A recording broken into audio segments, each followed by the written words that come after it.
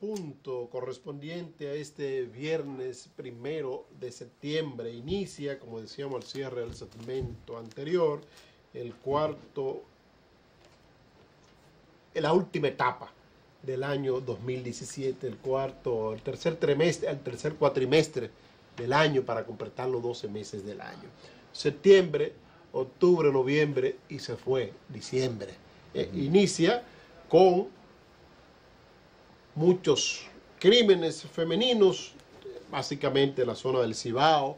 Hablábamos de dos o tres damas que fueron asesinadas en esta zona del Cibao. Inicia también el mes de septiembre con una eh, alerta, una alerta que esperemos que las autoridades monetarias del país eh, puedan hacer fluir la cantidad de divisas que se requieren en este mes del año. Septiembre y octubre son los dos meses donde más pues, aumenta la prima del dólar por la presión que se hace de los importadores, de los comerciantes, para traer todos los artículos y productos usados comúnmente en la República Dominicana a finales del mes de noviembre y en el todo el mes de diciembre. Los artículos comestibles, bebidas alcohólicas, vinos, los vinos buenos que le gustan a Johnny Arrender, los whiskies escoceses, pues aumenta eh, de manera considerable su, su consumo a finales del mes de noviembre y en todo el mes de diciembre.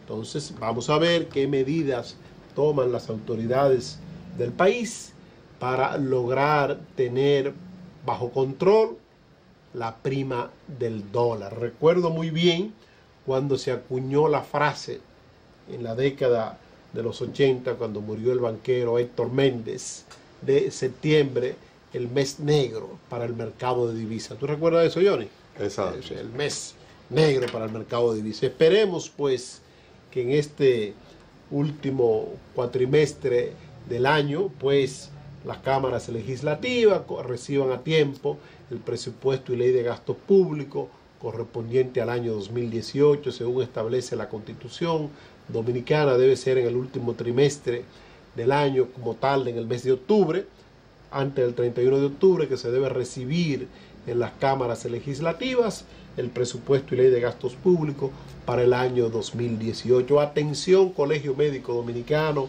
atención, Asociación Dominicana de Profesores y todas las personas que requieran aumento.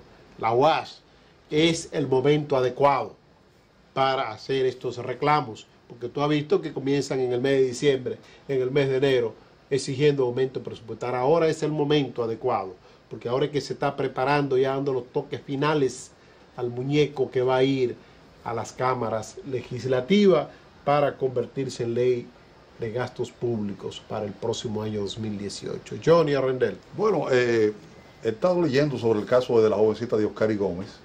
La de La Vega. Sí, dice que ella tomó un carro público y fue grabado eh, eh, el momento eh, por la cámara de un colmado, la cámara de seguridad, pero era un carro sin placa. Dicen que el de, de transporte público no sé si tendría rótulo, pero realmente eso habla también de, de fallas en los esquemas de seguridad. Un vehículo sin placa y parece que estaba con los vidrios subidos. Ya. Este caso hay, tiene que emplearse a fondo el nuevo jefe de la policía, que por cierto, eh, fue cambiado el jefe de la policía. Sí, sí, sí. sí.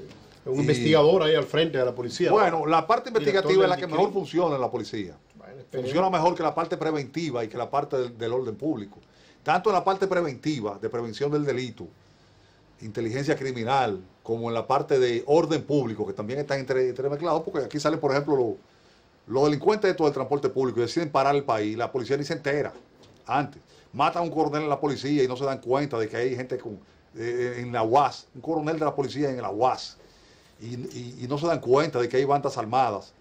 Eh, y no puede garantizar el orden público muchas veces la policía, como tampoco la, pre, la, prevención del delito, un patrullaje efectivo, una presencia policial en los barrios y en los puntos neurálgicos. Ahora mismo, con esto de la compra de útiles, hubo muchísimo atraco. Se, oh, recurre, oh, se, claro. se recrudecieron los atracos.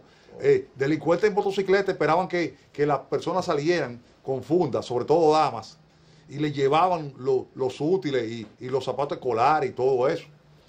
O sea que la, a, lo que sí es, es, es, muy bueno, y ojalá que en el caso de la joven Dioscari Gómez pueda aclararse, es la investigación policial, la investigación de crímenes y delitos, Y ahora ponen precisamente a un investigador, ojalá que pueda traspasar esa eficiencia que ha tenido esa área de la policía a, a la institución en general, que ahora cuenta con algunas otras condiciones, con agentes mejor pagados, todavía hay que trabajar en eso, pero debería comenzar con la recuperación y habilitación de los agentes de la policía. Un, agente de policía no tiene que estar cuidando a nadie, ni manejando a nadie, ni empujando carritos. Un agente de policía tiene que estar en labores de orden público, de investigación criminal o de prevención del delito, como hemos dicho.